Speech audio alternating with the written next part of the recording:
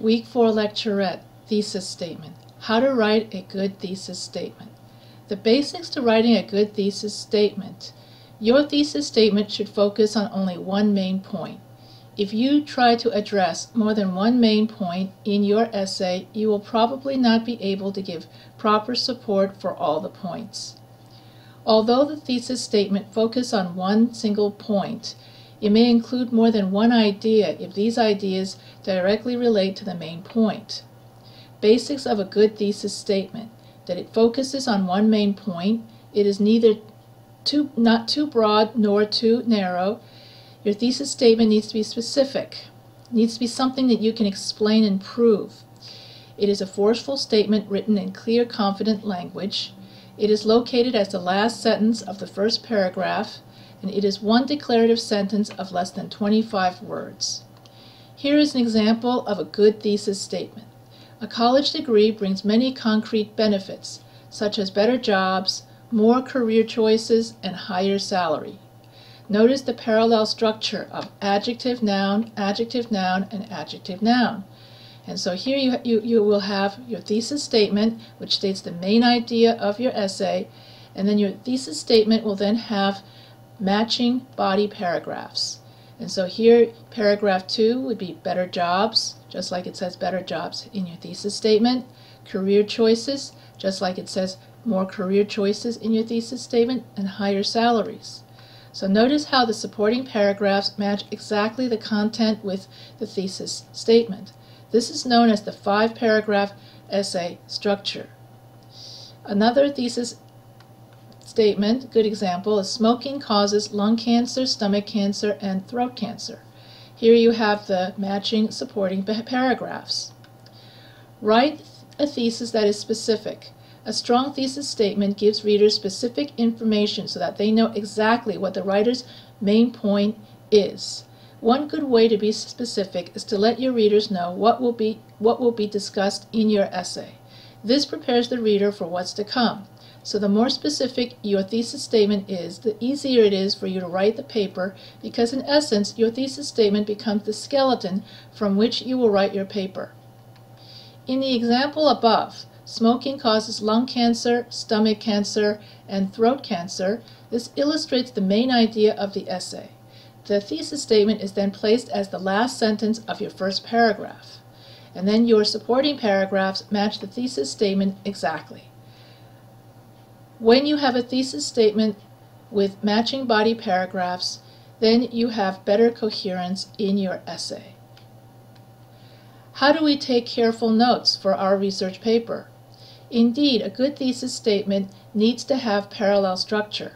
After we have come up with a good thesis statement, we then know what direction we need to take careful notes for our research. For example, if we have the research statement that says abortion is immoral, because abortion kills the unborn fetus.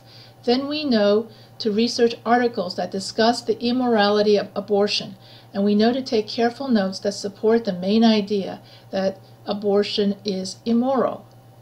The thesis statement of an essay states the main point you want to get across about your essay. The thesis statement, as stated above, becomes the central idea of your essay. You can only have one central idea in your paper in order to give your paper clear focus. By having a clear thesis statement, I was able to take clear notes in my first research paper. When I wrote my first paper, research paper in eighth grade, the internet had yet, not yet been invented, so my sources were books, magazines, and journals from the library. The librarian carted all of the books right into our classroom. Then we were to choose a topic and find the relevant books in the book cart. Then we were to take notes on index cards. We had to have at least 100 index cards for our notes. On these index cards, we were supposed to write direct quotes from our sources, and then we were to list the page numbers. At the same time, I thought this was a very fun activity, and after several days, I had hundreds of index cards spread out all over my bedroom. As I mentioned above, when using the abortion is immoral example, when you take notes for your research paper, you are in fact gathering evidence for your main idea. Let's just say that the main idea is abortion is immoral. Then you'd write down all examples and reasons why authors think abortion is immoral. You'd write in your notes, John Smith thinks abortion is immoral because conception begins the moment a fetus is formed. So killing the fetus is paramount to murder. Then after you write your direct quote, you use MLA and write down the author's name and page number. That is if you're using a printed source. If you are using a web source, you just write down the website number, web website name. And so having a uh, research um, thesis statement helps direct you in your research. For you are able to, so more tips on taking effective research notes.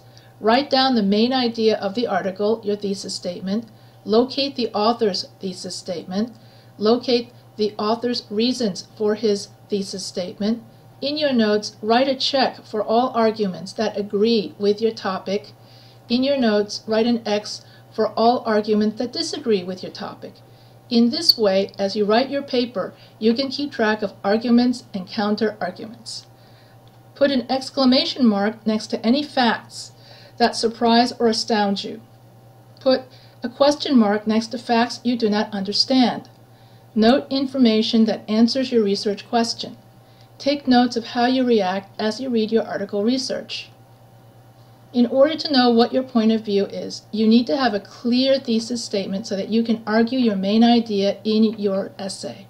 You can do careful research about your position based on your thesis statement, and you can rebut your point of view by finding weaknesses in the opposite point of view in order to strengthen your argument. Now, I will talk more about counterargument and rebuttal in my counterargument and rebuttal video. This ends my video on how to make a clear thesis statement.